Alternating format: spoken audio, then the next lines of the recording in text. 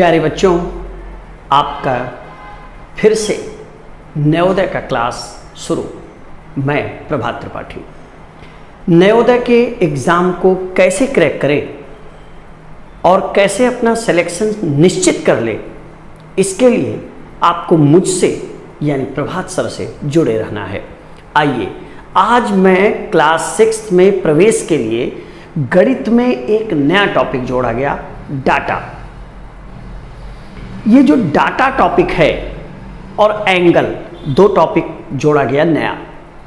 मैं data topic पर तीन वीडियो में, ये पहला वीडियो है, आपसे बात करूँगा।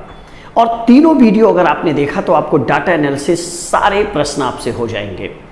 आइए, हम अपने पॉइंट पर आते हुए सीधे डाटा एनालिसिस पर आते हैं कि हमें क्या क्या पढ़ना होगा, कैसे तैयारी करनी होगी। सबसे पहले आप चैनल को सब्सक्राइब कर लें लाइक कर लें और बेल आइकन ज़रूर दबाइए।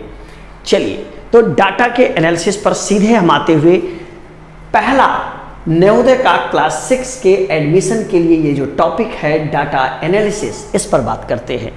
नाइन्थ के बेसिक्स के लिए भी बच्चे इसको पढ़ सकते हैं, ये वीडियो देख सकते हैं। डाटा होता क्या है? हमारे उपयोग के लिए कोई भी जानकारी जो इकट्ठी की जाए, जैसे उदाहरण के लिए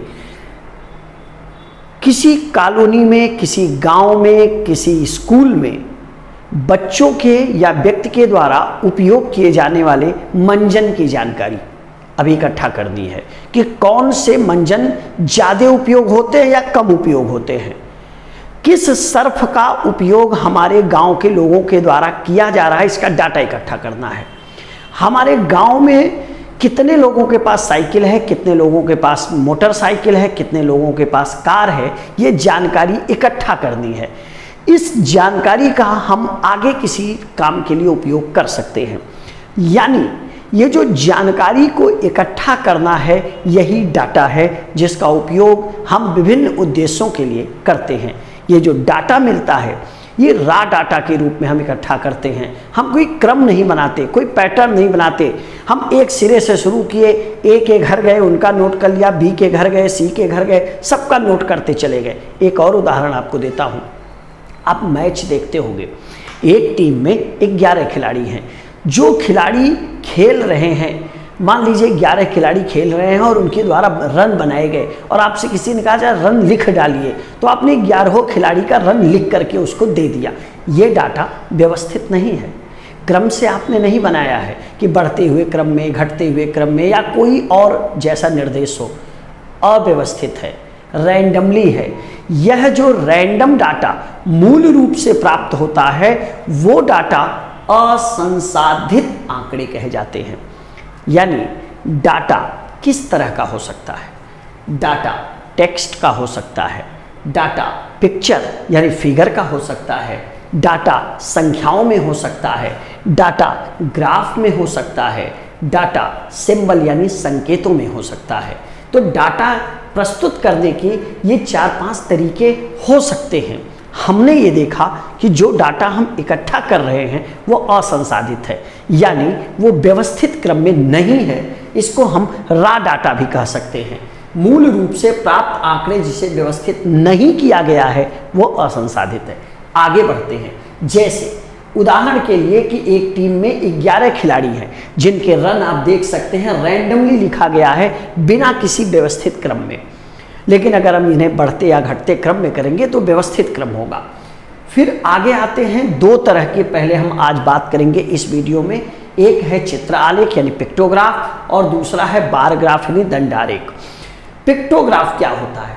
अगर हम किसी आंकड़े को चित्र के द्वारा या किसी संकेत के द्वारा कोई पिक्चर बना दे, उसके द्वारा प्रदर्शित करते हैं तो वो पिक्टोग्राफ कहलाता है।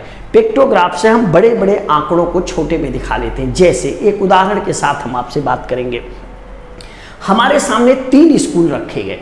तीन स्कूल में पढ़ने वाले बच्चों की संख्या की बात की गई कि भाई देखा जाए कि एक्स स्कूल में कक्षा नौ में अगर पाँच सेक्शन है, ऐसे आप समझ लो। या ये समझ लो कि पूरे स्कूल में कितने बच्चे हैं। तो मैंने स्कूल एक्स में चार स्माइली बनाया है। और यहाँ लिखा है कि एक स्माइली पचास बच्चों को प्रतिबिंबित करता है, यानी उसका वो निरूपण कर रहा है। यानी चार स्माइली हैं तो 50 गुड़े चार, यानी 200 बच्चे हो गए। इसी तरह से अगर स्कूल वाई में हम बात करें तो आप देख सकते हैं दो स्माइली बनी हुई है। यानी अगर एक स्माइली 50 बच्चों को प्रतिबिंबित करता है तो 50 और 50 यानी 100 बच्चे हो गए। जेड में अगर हम बात करें तो जेड में हमारे जो स्कूल है, इसमें हमारी तीन स्माइली बनी है। और एक स्माइली कितना है? पचास बच्चों का। यानी पचास धन पचास धन पचास, यानी डेढ़ सौ बच्चे हो गए। अब मन में आ रहा होगा, सर, ये तो समझ गए ना, सवाल कैसे आएगा? सवाल आएगा, सबसे कम बच्चे किस स्कूल में हैं? तो वाई में। क्यों? सिर्फ़ सौ बच्चे हैं। दो स्माइली बनी है। सबसे ज़्यादा किस स्कूल में है? सर एक्स में है। क्यों? क्योंकि 200 बच्चे हैं, चार स्माइली बनी हुई है। अगर मैं पूछ लूँ, स्कूल ए और स्कूल सॉरी स्कूल एक्स और स्कूल वाई में जो बच्चे हैं, उनका अंतर कितना है? तो आप देखिए, यहाँ चार स्माइली है, यानी 200 बच्चे हैं। यहाँ दो स्माइली है, यानी 100 बच्चे हैं तो अंतर कितना हो गया? 200 और 100 का 100 बच्चे। यानी मैंने ये उदाहरण दिया कि इस तरह के प्रश्न पिक्टोग्राफ से पूछे जा सकते हैं। आपको मैं बताऊँ, ऐसे ही प्रश्न दंड आरेख से भी पूछे जा सकते हैं। चलिए, समझते हैं बार ग्राफ, यानी दंड आरेख क्या है। तो बच्चों, बार ग्राफ जो होता है, ऐसे ही आयतानुकार या लाइन के द्वारा, एक हाइट ऊंचाई के द्वारा ये दिखाया जाता है। यहाँ दो अक्ष बना दिए जाते हैं। एक अक्ष पर छात्रों की संख्या या जो एक आंकड़ा होता है, और दूसरे अक्ष पर दूसरा आंकड़ा होता है। हमने समझाने के लिए एक विषय चुना कि एक क्लास में हमारे पास जो बच्चों की संख्या है, अगर मान लेते हैं कि एक क्लास 40 बच्चों का है या 50 बच्चों का है, उन बच्चों में किन बच्चों के द्वारा कौन सा विषय पसंद किया जा रहा है? तो विषय यहाँ है इस अक्ष पर और इस लाइन पर, यानी लाइन को हम अक्ष बोलते हैं गणित में, इस अक्ष पर छात्रों की संख्या है। आप देख सकते हैं इंग्लिश, हिंदी, मैथ और सोशल साइंस या साइंस। चार सब्जेक्ट आपके सामने दिख रहा है।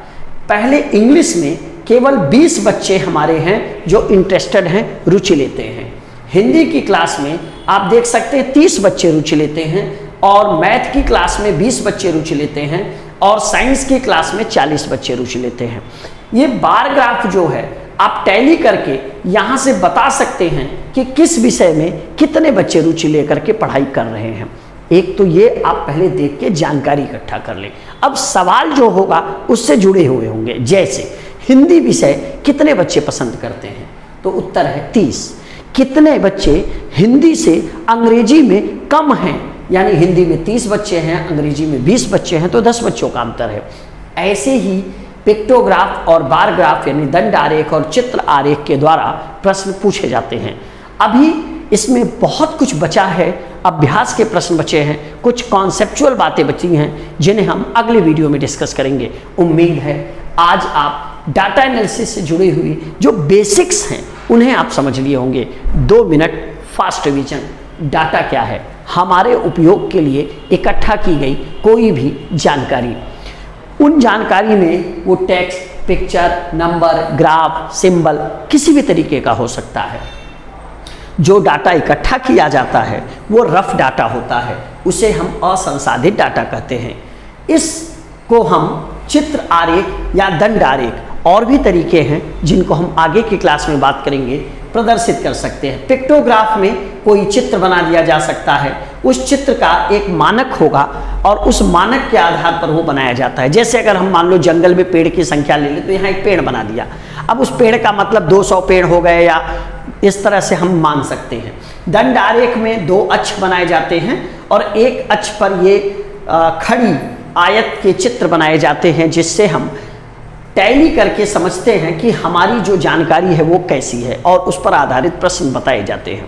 उम्मीद है आपको ये समझ में आया